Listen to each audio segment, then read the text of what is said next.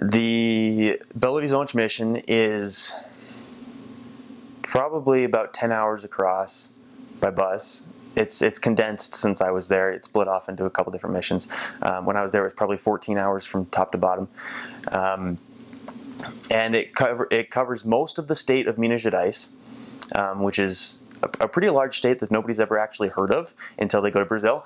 Um, but and it's right above São Paulo, so you're about nine hours north of São Paulo. Everybody in your mission will attend the temple in São Paulo um, or in Campinas, both of which are you know nine hours apart. But but uh, people in Minas Gerais are in the they're in the Campinas uh, temple district.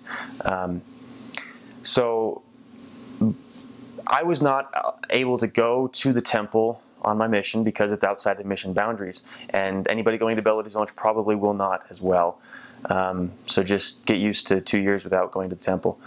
That that wasn't really a detriment to you, to any to missionaries, simply because the Lord blesses missionaries, and I'm sure that the Lord will compensate um, missionaries for their lack of ability to attend the temple during that time.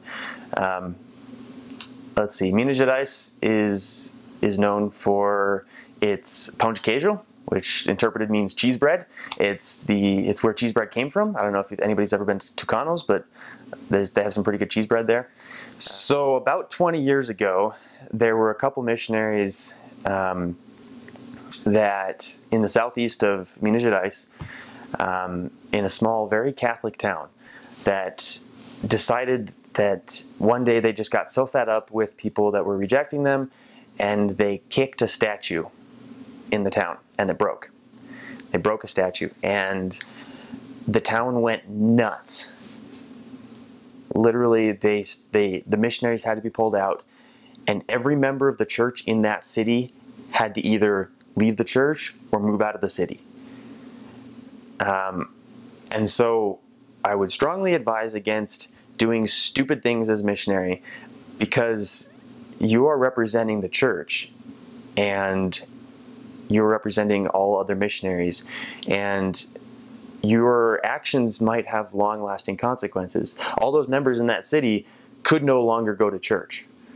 Either they had to move, pick up and relocate if they wanted to stay members of the church, or they just had to abandon the church. Um, and so that was a very, it's a very serious problem and because the, the, the, church could not stay there anymore because of the rioting. Um, so please, missionaries, don't be stupid. Remember who you are and that you're representing the Lord and other missionaries.